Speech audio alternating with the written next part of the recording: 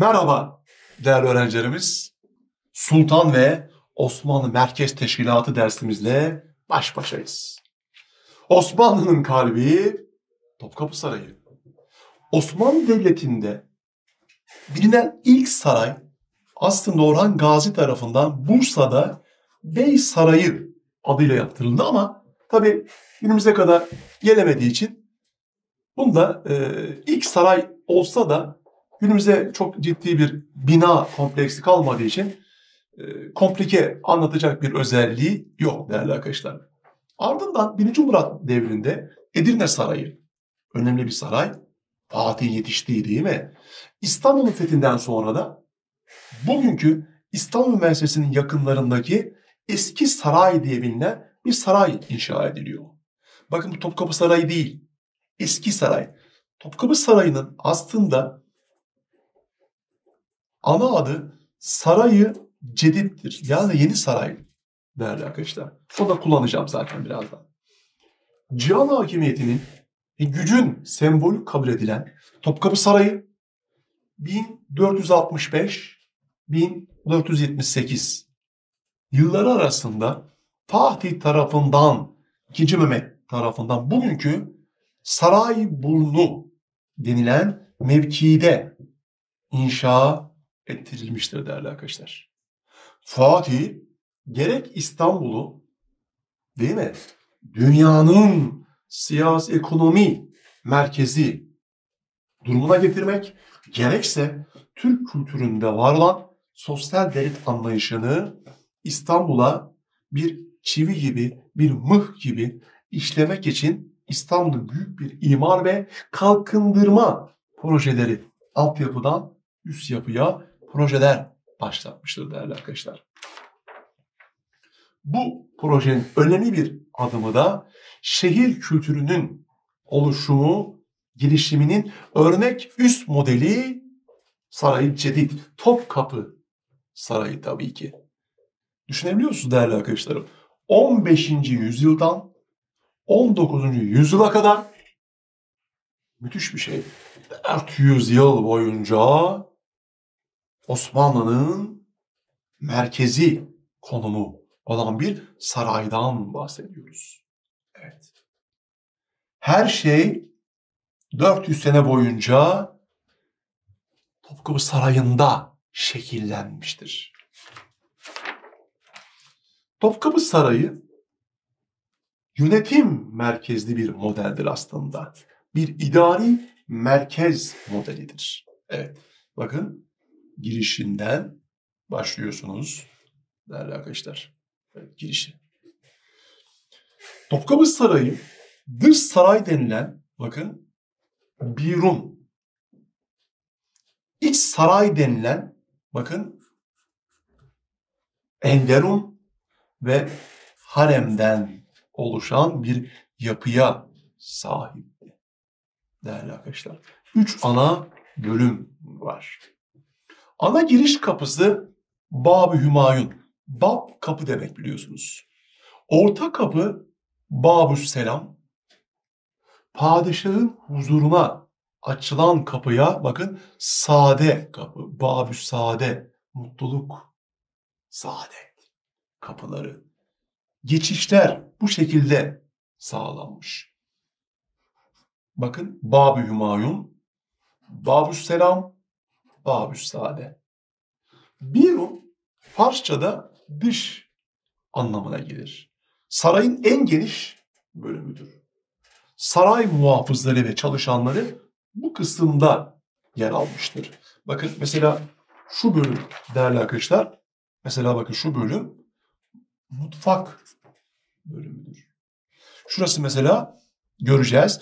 Divan toplantılarının yapıldığı mekan. Bakın en büyük bina Adalet Kulesi. Bakın en üst bina budur sarayda. Her şeyin üstünde adalet var demektir arkadaşlar. Yani atalarımız bu hassasiyeti bile bakın göstermişler. Birun'da adalet kasrı, adalet o kubbe, hastane, benim dediğim mutfak, ahır, erzak odaları, odun ambarları, çalışanların koğuşları, kayıkhaneler, bostanlar, bahçeler, cirit oyunu ve ok atış talimleri için alanlar ve küçük meydanlar bulunurdu. Ve işte Enderun Birun'dan sonra gelen bölüm Farsça iç anlamına gelir. İkinci Murat tarafından devlet adamı yetiştirmek amacıyla ilk defa Edirne Sarayı'nda kurulan bir bölümdür. Bu bölümü Fatih ne yapmıştır? Topkapı Sarayı'na arkadaşlar taşımıştır ve buraya bir işlerlik kazandırmıştır. Ve müthiş bir şeye bakın. En seçkin devşirme çocuklarının eğitildiği Osmanlı devlet sisteminin üst düzey bürokrat yöneticilerin yetiştirildiği bir okuldur aynı zamanda Enderun içindeki Enderun Mektebi. Bu kısımda yer aldığını söylemiş oluyoruz. Padişahın özel hizmetlerini gören devşirmeler yani iç oğlanlar bu işte Enderun Mektebi'nde yetiştirilirdi. Özel olarak seçilen eğitilen bu gençlere Türkçe, Arapça, Farsça, matematik, tarih, edebiyat, müzik ve güzel sanatlar dersleri verilmiş.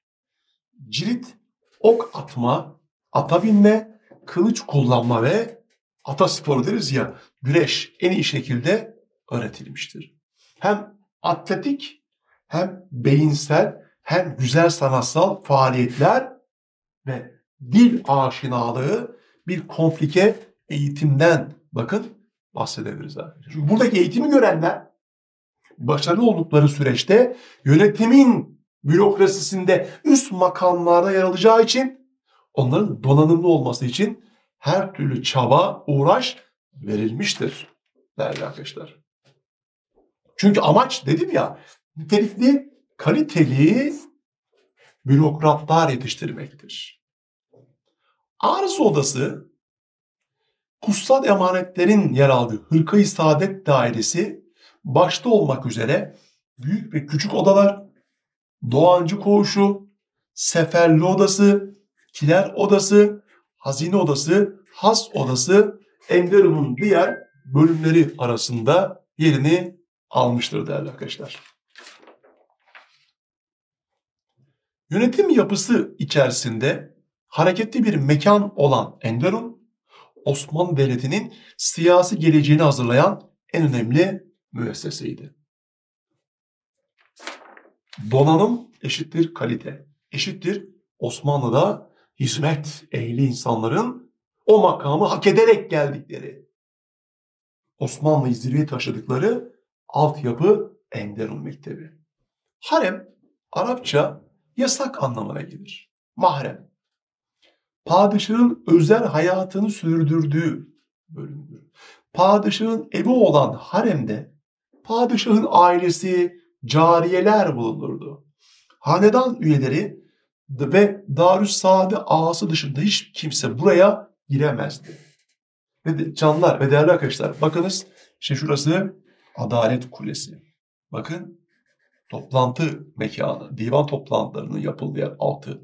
En üst bakın birim, bakın en üst birim işte burası. Her şeyin başında Osmanlı'nın adalete verdiği örneğin göstergesi değil mi değerli arkadaşlar?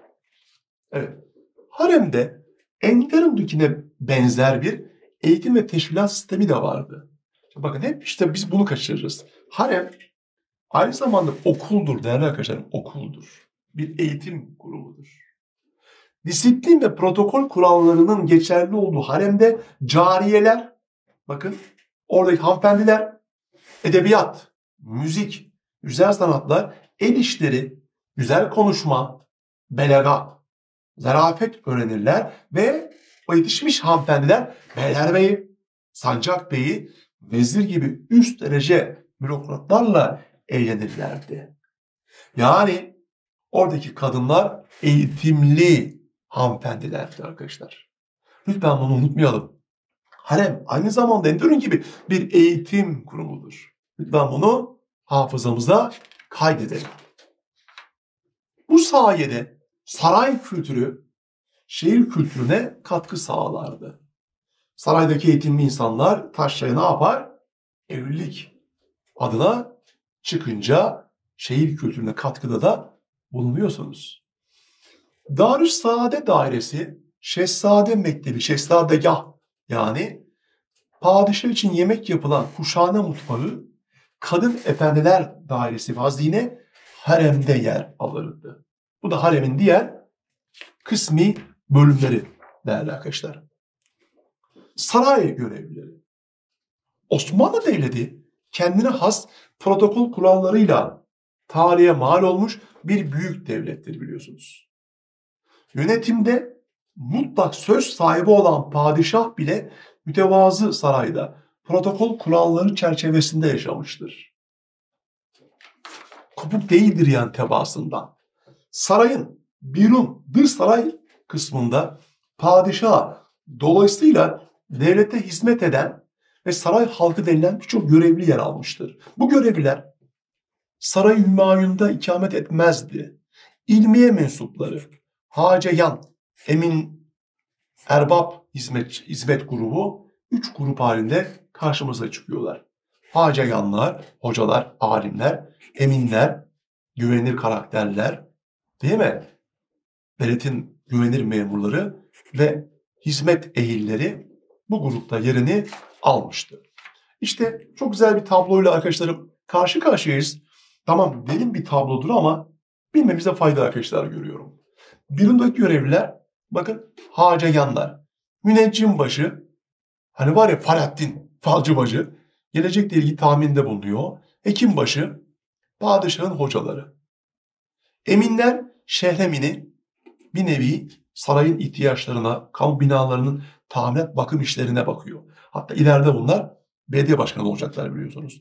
Darphane emini, para basımından sorumlu olan kişiler, matbaı amire emini, mutfak işlerinden sorumlu şahıslar. Erbab hizmet, emir alem, sancaklardan sorumlu, kapıcılar ketüdası, sarayın kapılı, kapılarını bekleyen görevlilerin başı, çarşıdagir, sofra hizmetlerinden sorumlu, bostancı, sarayın bahçesi, bostanlar, sahiller, limanları genelde sobruk sahasına verilmiş birimler. Ehli Hiref saray sanatkarları Çavuşbaşı da Divan-ı Hümayun toplantılarında teşrifat hizmetleri ve mübaşirlik yapan görevlilerin başı değerli arkadaşlarım. Bunlar Birun'daki görevli karakterlerdir. Birun'daki diğer görevler ise bakın kuşçular çok fazla bize. Kuş sevdası çok fazladır bizde. Orta Asya'dan kalma. Çakırcıbaşı, Şahincibaşı, Atmacabaşı, evet müteferrikalar, yani bir nevi saray hademeleri, baltacılar, peykler, solaklar, mehterler, mehterbaşı, sakalar, sakabaşı, terzi ahçılar ve milahur yani at e, ahır sorumlusu. Enderun, Enderun'un Humayun'da o bölüme ait Enderun halkı ve hademeleri de aynı zamanda görev yapmıştır. Tabi onların da kendi işleri var.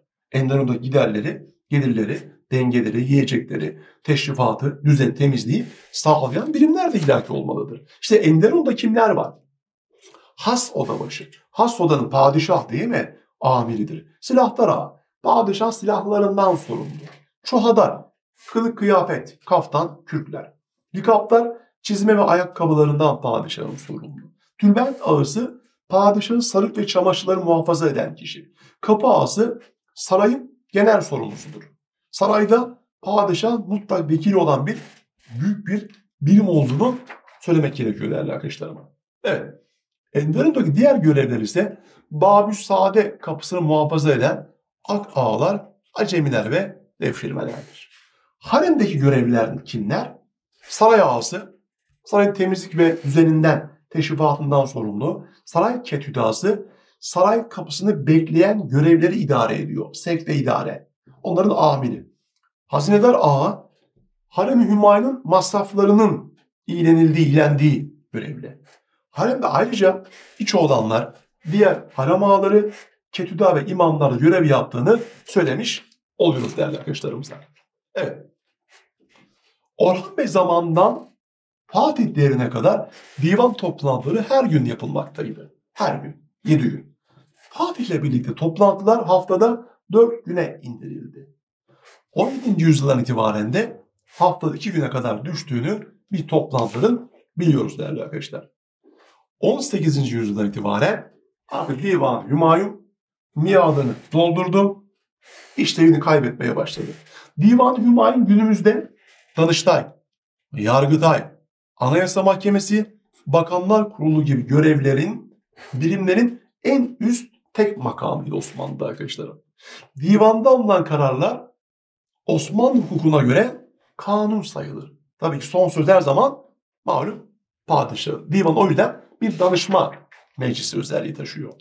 Divan Hümayun, yani Osmanlı Bakanlar Kurulu, yargısının, yönetimin ana mihenk taşı olan bu kurum din ve millet ayrımı yapmaksızın hangi meslek grubundan olursa olsun herkese açıktı. Yabancı ve kendine ait olan tebaasında Osmanlı'nın. Ne kadar zarif değil mi?